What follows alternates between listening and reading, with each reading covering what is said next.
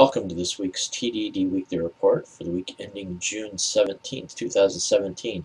I was originally going to talk about some articles about Mars exploration, but I will save them for next week. What happened this week was uh, something that I think would really apply to the TDD report in science and technology. One of our destroyer ships, the USS Fitzgerald, actually crashed into or was crashed into by a container ship.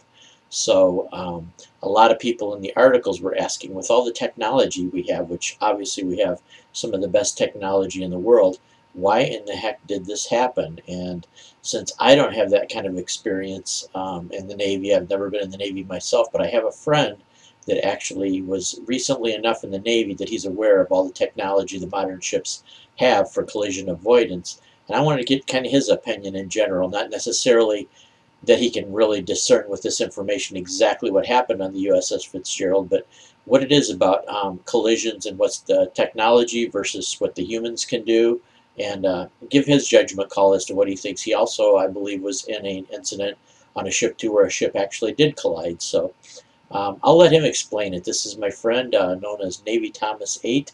Take it away, Tom. Want to say hi to all the TDD uh, viewers. I got to try and keep this under five minutes.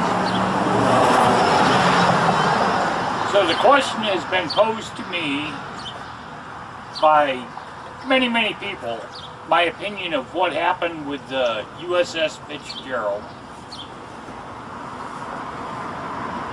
and how it got run over by a reindeer. Okay. First off, I'm going to tell you straight up, this was pure human error on the U.S. Navy's part. And I hate to say that, but having experienced a collision at sea myself, that's how it works out the law of gross tonnage applies. Um, he who is bigger than you, you get the fuck out of their way.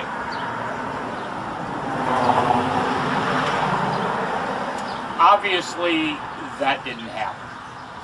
Okay, the next question was about radar. There's a lot of times Navy ships operate without using their radar. However, we have um, emissions that we can monitor.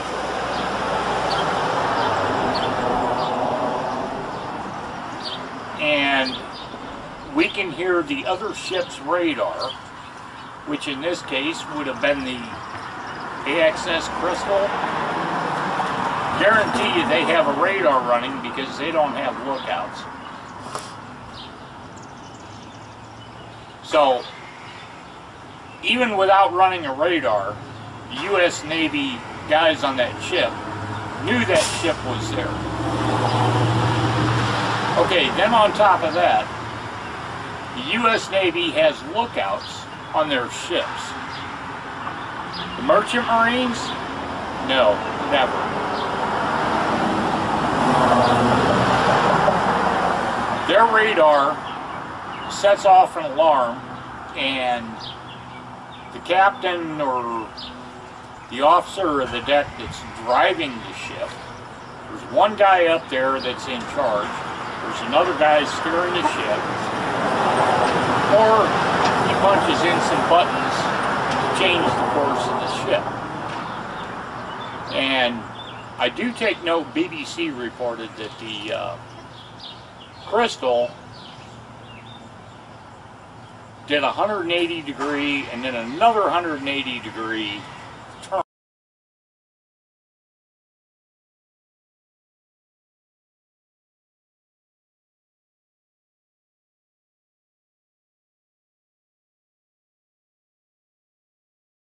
turn. Which I think may have contributed to the U.S. Navy officer of the deck not figuring out what the hell was going on.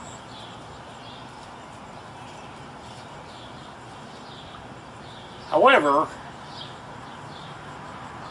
in my attack on the U.S. Navy, they've got lookouts.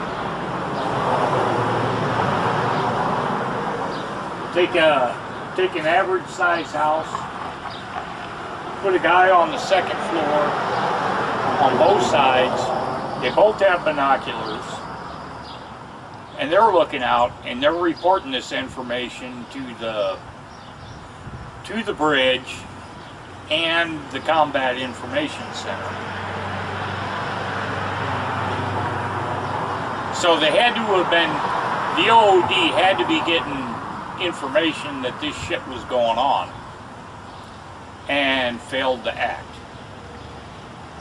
Now, in what I call the law of gross tonnage, if the ship is bigger than you, then you make a decisive action to get away from that ship. Now, from what I can tell, they weren't exactly in open ocean, but you turn left, you turn to port, that was a bad decision. You turn to starboard, that was a good decision. Obviously, whoever was running the ship at the time did not make the right decision.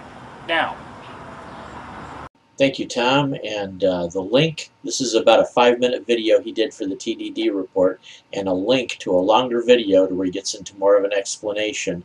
I will put that down in the description below. So please, if you get a chance and you're more and you're interested in a little more in-depth about the possibilities of what happened with the USS Fitzgerald and technology as it relates to uh, naval destroyers, naval ships, and collision avoidance, uh, please check out his longer video in the description below.